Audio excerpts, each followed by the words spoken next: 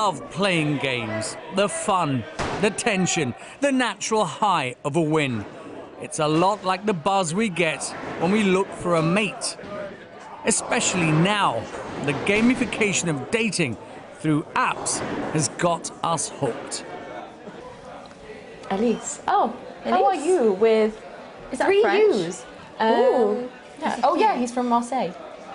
Oh, he's tanned. We're obsessed, downloading more and spending more. Cupid's arrow has been replaced by an algorithm. It is like, but it's like in Tinder when you swipe and it says, like you get a match. It's like, oh, do you want to keep playing? Like it does turn it into a game.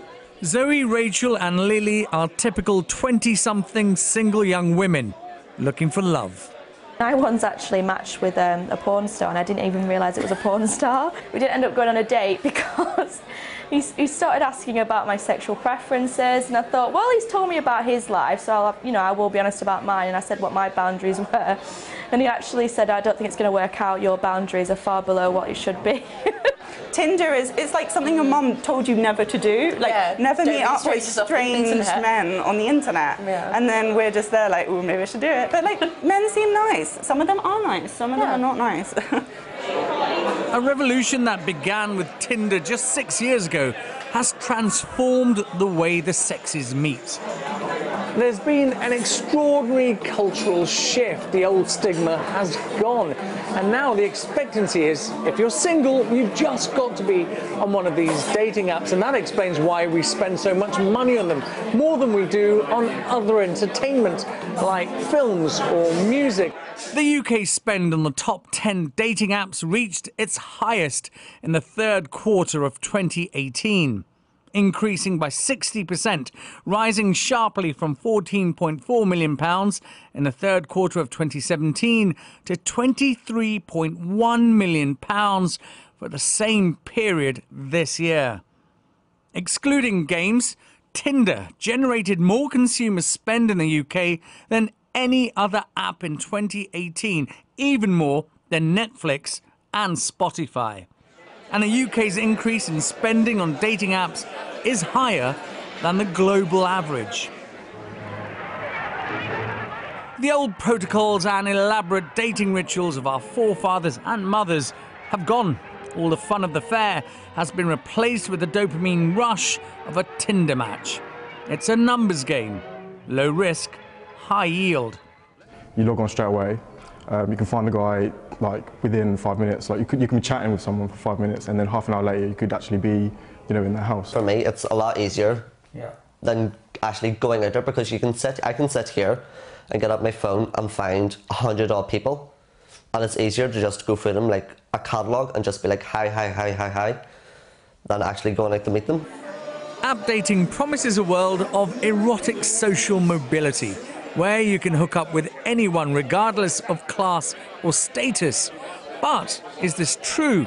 The potential matches you're offered are selected by a computer program. Is it just an echo chamber?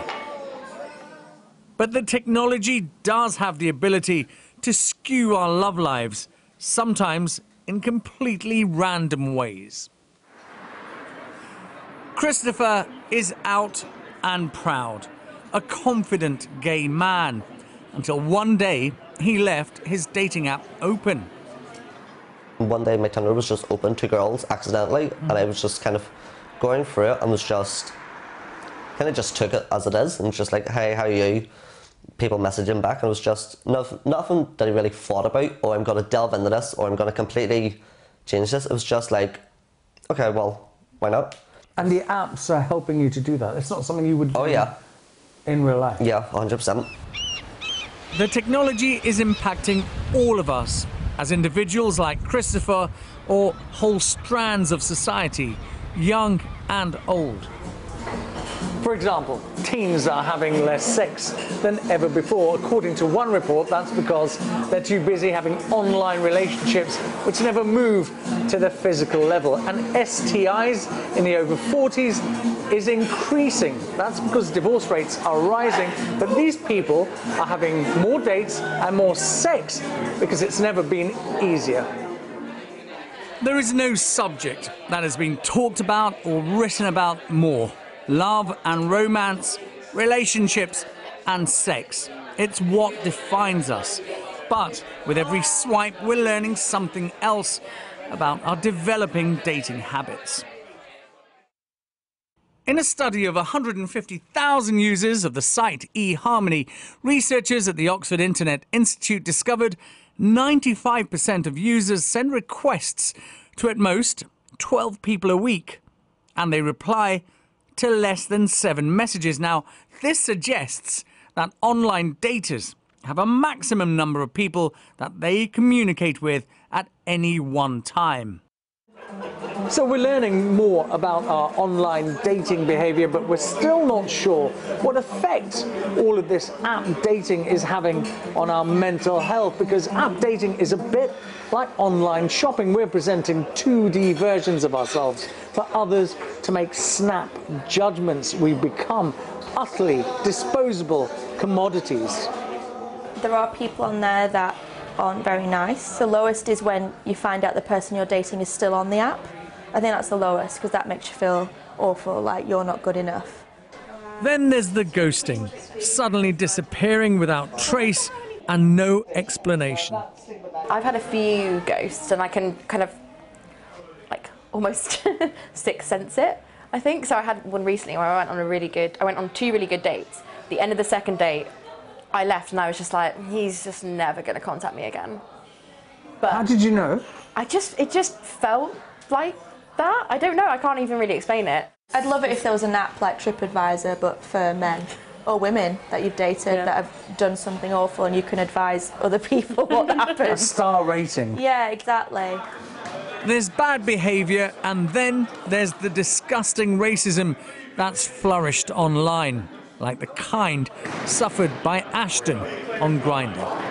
People would write in their bios um, quite like ignorant statements. They would say like, "Oh, no blacks, um, no this." They'd be like, "No this, no that, no this, no that." And as a black person, when you're seeing like that in so many different profiles, like no blacks, it can kind of affect you because you think like, do people not find black people attractive? I mean, what, I mean, what's wrong with me? I mean, like, I've even got like on here some screenshots from stuff that's actually happened. His response was to call me the N-word, and then he blocked me straight after that. Human interaction. Human interaction, yeah, I know. WTF. Many app companies are trying to address bad behaviour. At this startup in Manchester, the team thinks daters want change. You know, looking at Jigtalk and seeing that we cover every user's face with a jigsaw puzzle, you might think we're a bit mad. We only cover their face. We know it's the most important part, mm-hmm. but it's that piece is covered um, to incentivise that conversation that what is so important. Definitely in the early stages of dating apps, um, there was that you know it's instant access in the palm of your hand. I can get people. You know, people's profiles who I assume I could meet up with as quickly as possible, um, just thrown at me, and I can go from there based on a photo. But people have become more mindful as time has gone on. Everybody's a little bit more self-aware about how they're using social media and online um, you know, platforms. And, and we see ourselves as coming in at the optimum time where people are looking for something a little bit more mindful, a little bit more meaningful.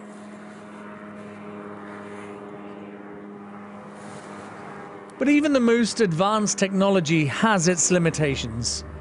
Nick is looking for someone to help heal his broken heart. But algorithms that work great in big cities are pretty useless out here in Cumbria. His apps have found him matches in Scotland and Northern Ireland. Look, this is a really beautiful part of the world to live in, but I suppose it's a bit challenging when it comes to dating. You're talking about population density.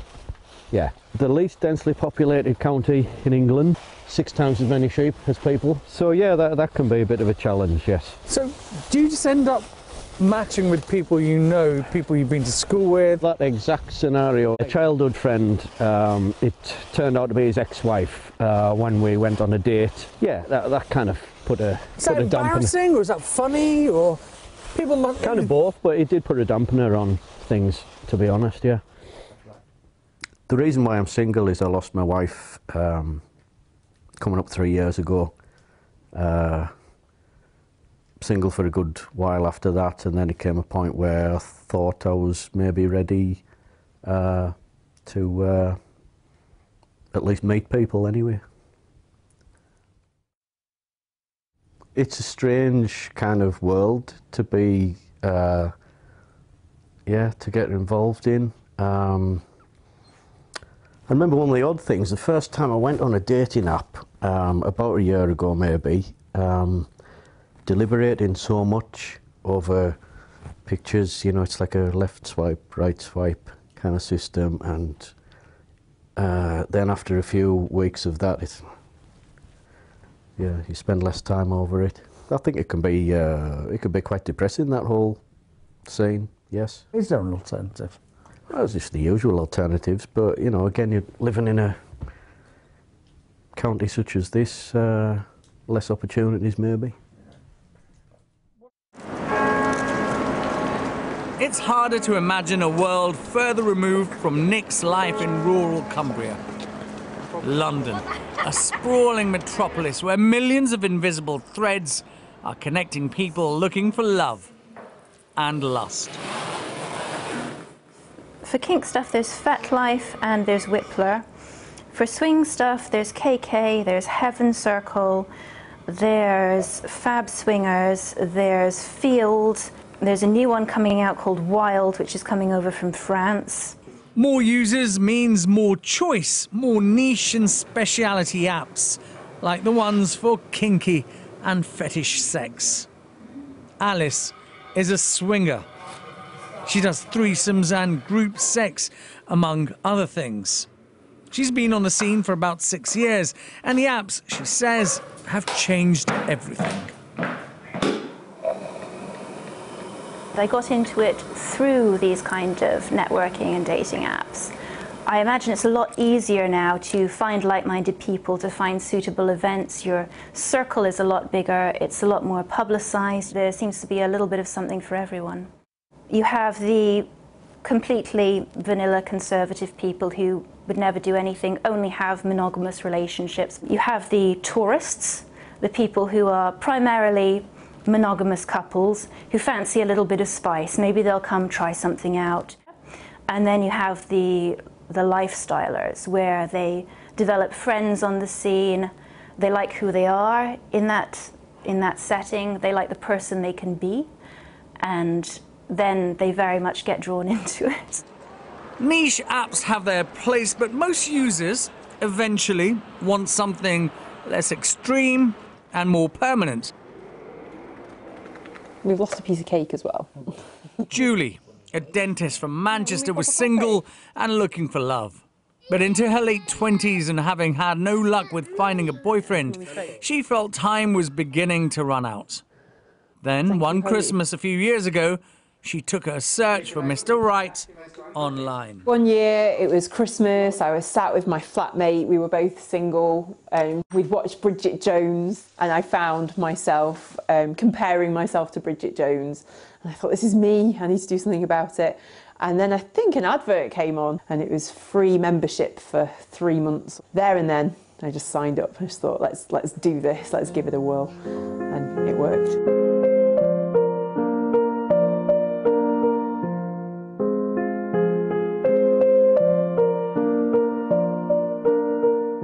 You really celebrated the fact that you two had met online through your wedding. Yeah, well, yeah, we did. So at our wedding, um, our table, um, the names of our tables at our wedding were all named after different dating apps.